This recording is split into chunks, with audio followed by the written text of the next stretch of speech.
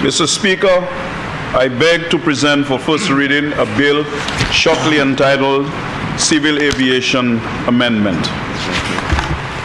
Civil Aviation Amendment.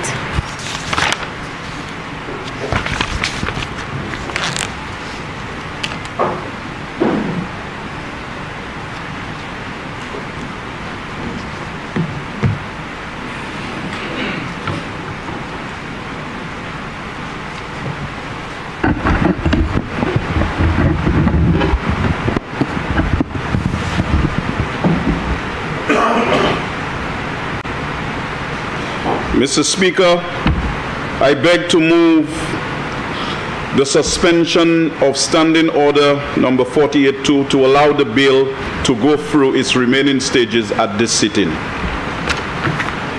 Honorable members, the question is that Standing Order 48-2 be suspended to, in order to allow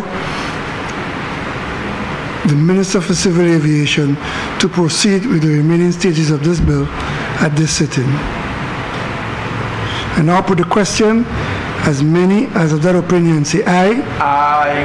As many as of a contrary opinion say no. I think the ayes have it, the ayes have it. Leave is granted. Mr. Speaker, I beg to present for second reading a bill shortly entitled Civil Aviation Amendment. Mr. Speaker, the bill for consideration of Parliament is the Civil Aviation Amendment Bill. The bill.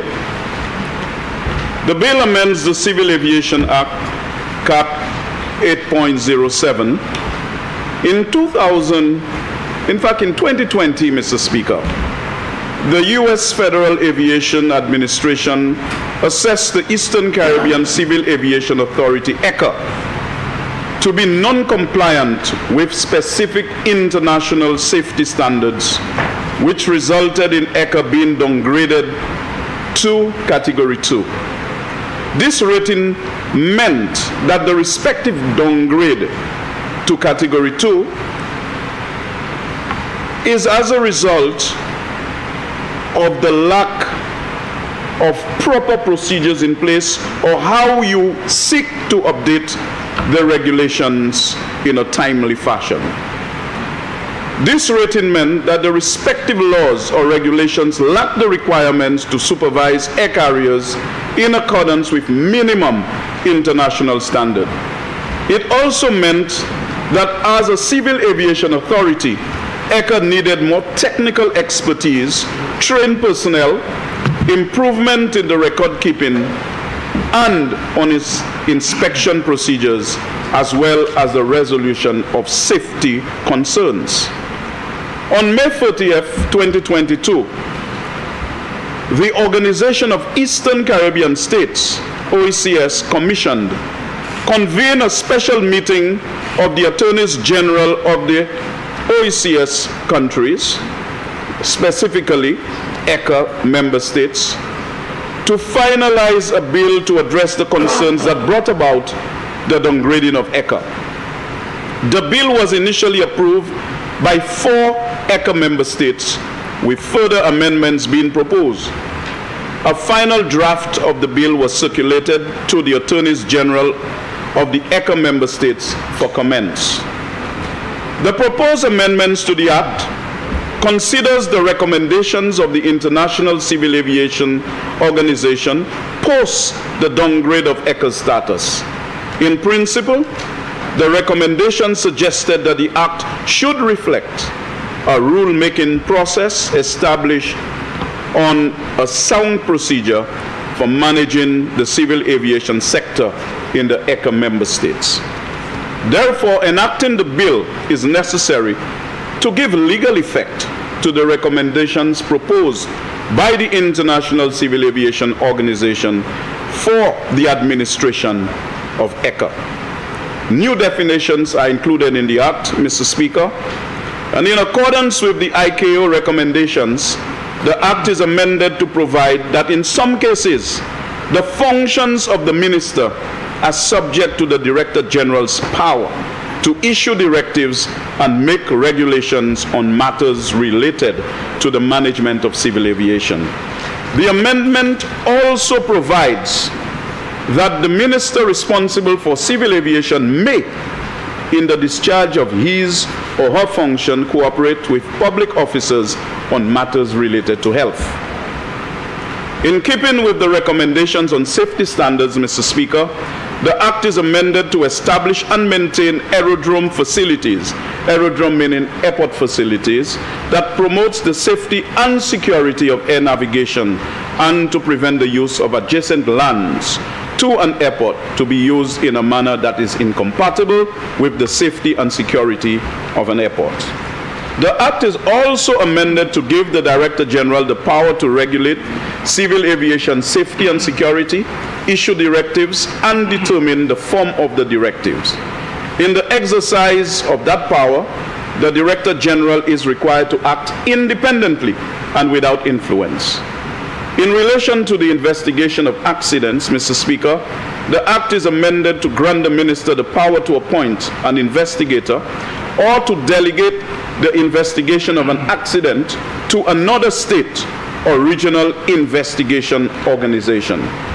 According to the amendment, the investigator is granted unrestricted access to and control over the scene of an accident and the authority to conduct a detailed investigation of the evidence, including the interview of a witness.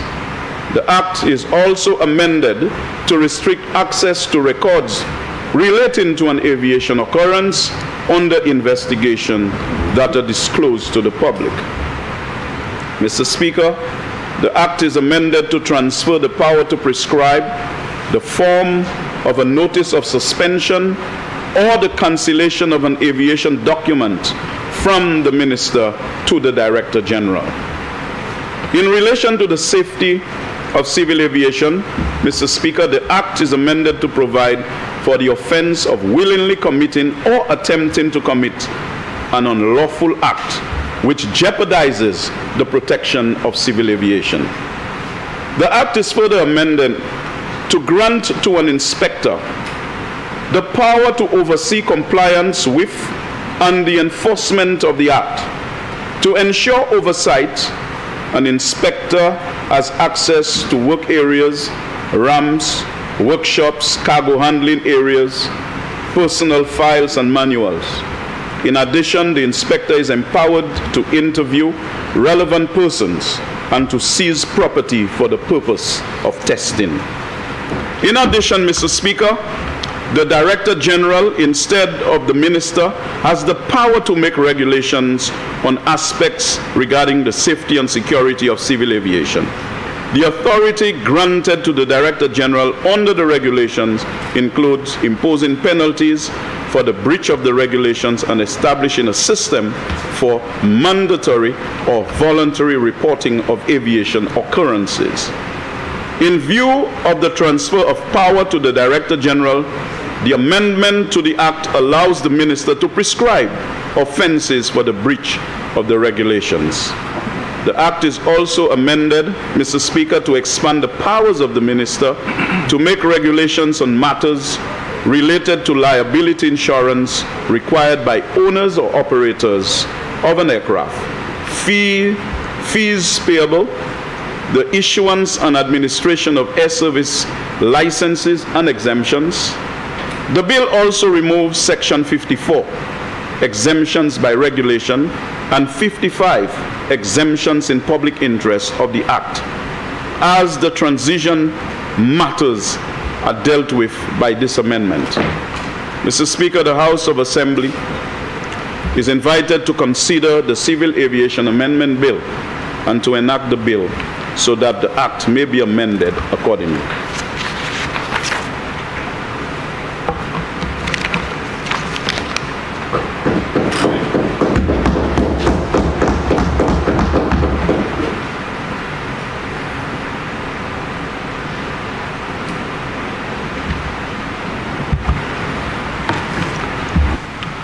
Honourable members, the question is that the Civil Aviation Amendment Bill be read a second time.